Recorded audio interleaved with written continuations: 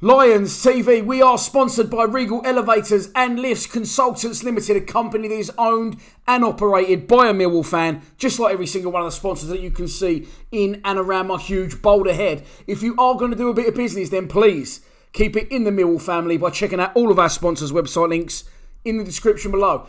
This is your pre match prediction for Saturday's home game against Stoke City at the Den. I couldn't paint a more perfect picture. Gary Rowett's first job as Millwall manager is to face the club that sacked him in January. And of course, our current player of the year, Lee Gregory, returns to the club after leaving us for Stoke in the summer. Stoke will almost definitely sell at the away end, and it should be a brilliant, atmospheric Saturday afternoon in South Bermondsey. Let's start out by taking a look at the 11 that Gary Rowett might pick to start the match. This will be almost impossible to call what team and formation that Gary Rowett will go with. All he's got to base it on is what he saw on Tuesday night. I don't think that would have bowled him over.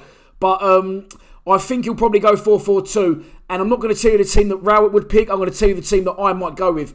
I would go Bialkowski in goal, Jason McCarthy right back, Murray Wallace left back, Shaun Hutchinson and Jake Cooper central defence. I'll go with a central midfield three.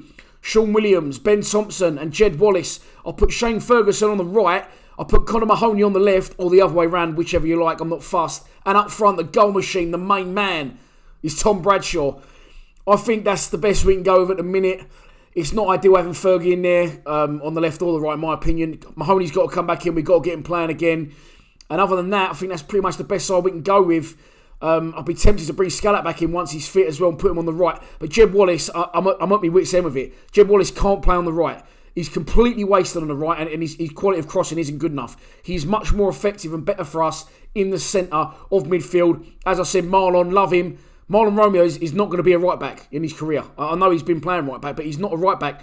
Playing Mahlon right back doesn't suit and show his best attributes as a player. And I'd like to see Mahlon play either right midfield or, or even as a holding a holding midfield player because he's got the pace, he's got the legs, he can put the tackles in, he can go on forward runs, but he's not a right back, I'm sorry. And Jason McCarthy now has to come in and get his chance. One up front works better for us because if we play two up front, uh, Matt Smith plays up there, we start shipping long balls and it just absolutely buries us um, positionally, uh, tactically, and buries um, in, in our soul. It's, it's painful to watch. So please don't do that. Play one up front, play Jed just behind, and then Williams and Tomo in the centre of midfield.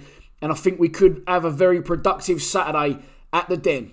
So let's move on to the opposition. It is, of course, Stoke City. I just had to post on the Lions TV WhatsApp group who is Stoke's manager because when I looked, it said it was Nathan Jones. I thought he'd been sacked. Looks like I was wrong. And as luck would have it, just at the time they're about to play Millwall, they start getting results. They have won only two games all season, but they've won two of their last three games against Swansea and Fulham. Lee Gregory's been on the score sheet, although it was a penalty, and he missed an absolute howler though on Tuesday night when they was back down to earth with a bump, losing 1 0 to Sheffield Wednesday at Hillsborough. the one to watch for Stoke is going to be the aforementioned absolute salt 10 out of 10. Alex, I nearly said the man of my dreams. I genuinely nearly said the man of my dreams. I don't, I don't need rumours like that starting around about me. Um, I'm completely straight. Not that there's anything wrong with being the other way, but um, Lee Gregory was the striker of my dreams. Let's just put it that way. And um, he comes back. Please, Gregors, do not come back to haunt us. Please don't come back to haunt us. If he scores, I'm pretty sure he definitely won't celebrate. And listen, let's give the man a bit of respect. Okay, we've got Tom Bradshaw now, it looks like we're better off. But Lee Gregory was a phenomenal player for our club, an absolute workhorse, did everything right scored goals occasionally, but it was his work rate more than anything. Scored a lot of goals for us in League One. Give us some fantastic memories as a player. So please, please, I know some of you are going to do this. I don't even know why I'm asking. Don't boo the fucker. Let's give him the respect that he serves. Maybe give him a bit of shit during the game, but full time, I'd love to see him do a little lap of honour. Um, I don't think that'll happen. And hopefully, you know, he won't be in the mood to do a lap of honour because we're going to beat him. This is your pre match prediction, and here we go. I'm trying to be a little bit more smiley happy and energetic because someone commented on my last video and said, mate, you look like you're done with it. You look like you're going to fold the channel or hand it on to someone else.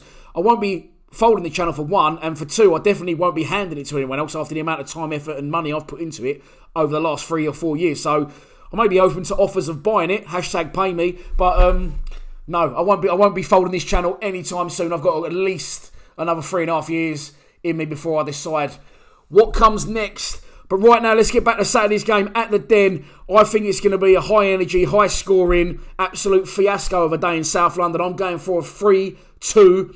Millwall win. Tom Bradshaw will get two. And Jed Villar, if he plays central, to um, maybe even get a penalty again. I know he don't need to be central to, to pop up and get a penalty. He can come from anywhere on the pitch. But Tom Bradshaw two. Jed Wallace one. 3 2. Goldfest. Gary Rowett, first win.